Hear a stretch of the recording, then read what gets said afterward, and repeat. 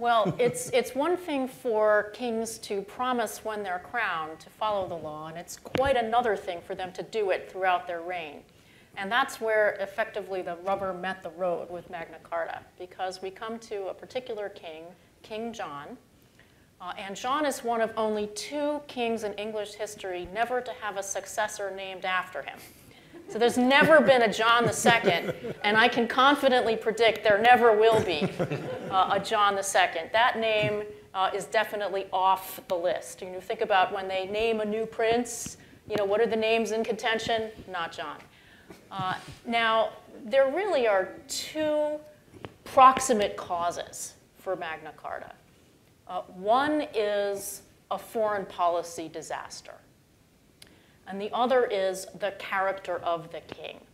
And I would argue that without those two factors, we would not have had Magna Carta. So the foreign policy disaster.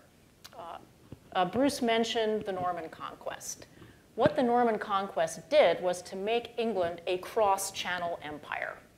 So they've got England and then they've got lands on the continent that they still control. And that's Normandy, where William the Conqueror came from. But over the course of the 12th century, they acquired basically the whole western seaboard of France. So they own basically half of France, which is great for the English, not so good for the French. Uh, so there is a, a standing conflict uh, between the French kingdom and the kings uh, of England. And it is exacerbated by the weird sort of feudal situation that obtains uh, between them because those lands in France that the English control, they are uh, held of the French king as fiefs. So the French king is actually the overlord of the English king in his capacity as Duke of Normandy, Count of Anjou, etc., etc.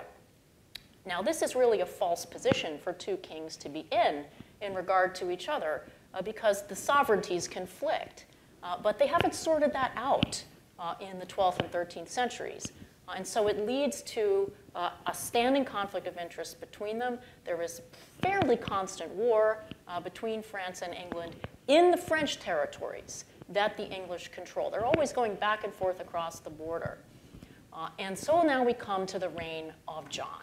John takes the throne in 1199 when Richard the Lionheart is killed uh, in really a rather unimportant uh, skirmish in the south uh, of France in a, a, territory that he controlled. Uh, you have John on the throne, uh, and the King of France is immediately going to try to take advantage of the relative instability of the succession to seize some land. But they come to an agreement. Okay? Everything is going to be fine. And then John gets married. And that screws everything up.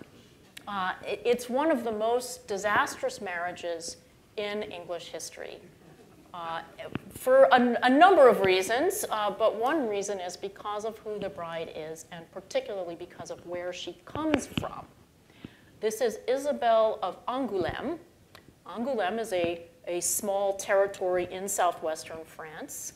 Uh, the problem with Angoulême is that it adjoins the county of La Marche, and La Marche was ruled by a family that were constantly rebelling against King John. Now, John did not want the Count of La Marche to marry Isabel of Angoulême. They were engaged. So he wanted to block that marriage because he feared that if these two territories were united, then there would be this big indigestible block of rebel territory in the heart of his French dominions. So he doesn't want this marriage to go forward. So what is his solution? He marries the bride himself. He scoops in, takes the bride, marries her himself, and oh, by the way, they had been postponing this relationship, you know, the, the, the, the Count of La Marche and Isabel, because the bride was 12 years old. but the king marries her anyway. Uh, now, this might have been okay if the king had compensated the Count of La Marche for stealing his fiancée. But John was just the sort of guy not to do that. It would have been much better if he'd say, well, you know, I'm sorry, I took your fiancée, but here is some extra land, here is a payment, you know, it's all good. He didn't do that. He basically thumbed his nose at his own vassal, uh, and uh, that caused the Count of La Marche to appeal to the King of France. Because, of course, the King of France is the overlord of both the Count of La Marche and the King of England. So he appeals to the King of France, and the King of France has just been waiting for an opportunity to do something against King John. And here this is delivered to him on a silver platter. Because, of course, John has violated the rights of his vassal in taking the fiancee without compensation. Uh, and so the King of France uh, or confiscates the lands that the King of England owns in France. And then he actually makes good on the confiscation by force of arms. And he invades Normandy and he conquers it. Now, the King of England has lost all the land in France, or lots of it, okay? and particularly the land that people actually cared about, Normandy. And this is a complete disaster. Kings of France, or kings of any, uh, any kingdom, are not supposed to lose land. If anything, you're supposed to increase it, not lose land. Uh, and now John is in a bind because he has to try to get the land back. He needs to pay for the reconquest. He can't pay for it because now all of a sudden he's not getting any revenue from that land anymore. So he has to tax England unmercifully in order to pay for the effort to get the land in France back. So he is now in a vicious circle because the more he taxes England, uh, the more they, they hate him. Okay? But he has to get the land back or he will lose face as king. And it goes on like this for about 10 years. In 1214, he basically makes one last effort to recover the land in France. He gathers together a coalition of continental allies, in particular his nephew, who is uh, a, German nobleman. Uh, and he's going to do a pincer movement. So his allies are going to come into France from the northeast. And John is going to land in uh, Poitou in the south on the coast, uh, and then they're going to meet up, head towards Paris, and get the King of France sort of in a vice. But it doesn't work because John is bottled up on the coast. He can never meet his ally, so his ally has to go up against the King of France alone. Uh, and there is a battle between the King of France and this German ally, and the French win the battle.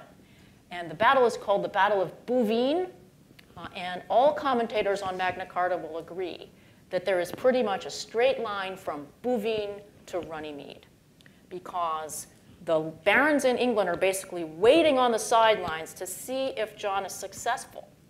If he is, maybe they'll forgive him all the other stuff he's done.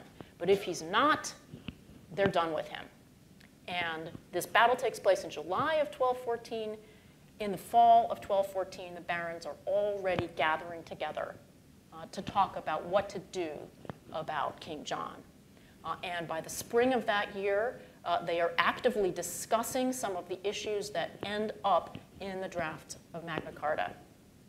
So that's the foreign policy cause for Magna Carta, but there is also a character cause for Magna Carta, which is the fact that John was detested uh, widely uh, by his barons. He was regarded as untrustworthy, vicious, cruel. Uh, he was just the sort of person who you would have to extract promises from because he didn't keep his word. He was uh, basically well known uh, for that. Uh, he was somebody who acted arbitrarily. One of the things that he did to raise money uh, for this continual effort to recover land in France was to find people arbitrarily for uh, offenses that sometimes were real and sometimes invented. He would uh, lend uh, money to people in unrealistic amounts and then have the debt hover over them. Mean, so people were always scared uh, of what John would do. He was very unpredictable uh, and really just the, the best example, I think, of the kind of cruelty that John engaged in. He got into a dispute with one of his, uh, his vassals named William de Briouze. Uh, and he actually had the wife and son of this vassal starved to death. And this was widely known. All the chroniclers of the time report it. It was widely known. So that was the kind of thing he did. And he also would go around to the castles of his barons and demand to sleep with their wives and daughters. This is the kind of man he was. So this is the kind of person who you would definitely want to promise on parchment that he was going to be a good boy. Appreciate that. Uh, Jenny, talk about jury trial and how Magna Carta is, in, obviously, from, from my opening comments, I think it's had a great influence in this country. It, it actually belongs sort of in the category of the myths of Magna Carta, uh, because uh, the word jury does not appear anywhere uh, in Magna Carta.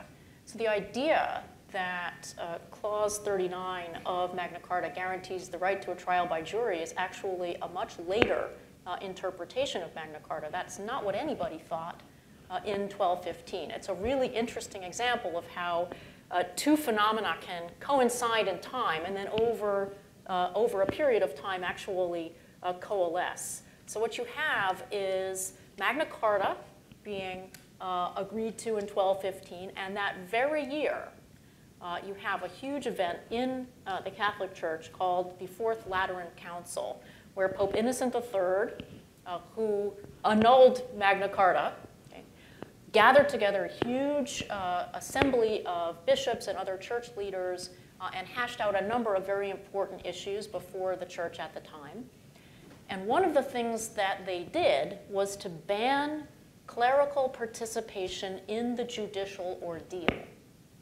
Now, probably a lot of you have heard of the ordeal. This is where people are forced to walk across hot coals or hold hot irons or uh, be thrown in the water. And if they, the water accepts them, if they sink, then they're innocent. If the water rejects them and they float, uh, then they're guilty. You know, of course, you have to fish them out in time if they're innocent uh, before they drown. Uh, this is something that people make fun of now. I mean, there's a wonderful scene in Monty Python and the Holy Grail about the judicial ordeal. But this was very serious business in 1215. A lot of decisions about guilt or innocence across Europe were made on this basis. Uh, and the church had grown uncomfortable with it and withdrew its approval. Uh, and this im- almost immediately caused the ordeal to wither on the vine. And they needed something else to put in place in order to decide guilt or innocence in uh, criminal cases. Now, interestingly, on the continent, what they came up with was the inquisitorial process. In England, they went in a different direction. And by the way, that, that involves torture. right? In England, they never embraced uh, torture. Instead, what they came up with as a fix was the jury trial. So juries had been around for other purposes for many years. They had been fact, they were fact-finding bodies.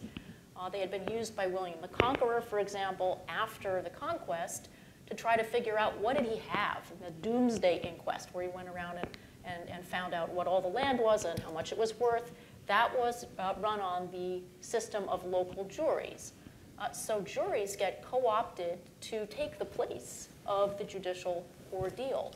Uh, and over time, people start to assume that the clause about judgment by your peers refers to trial by jury.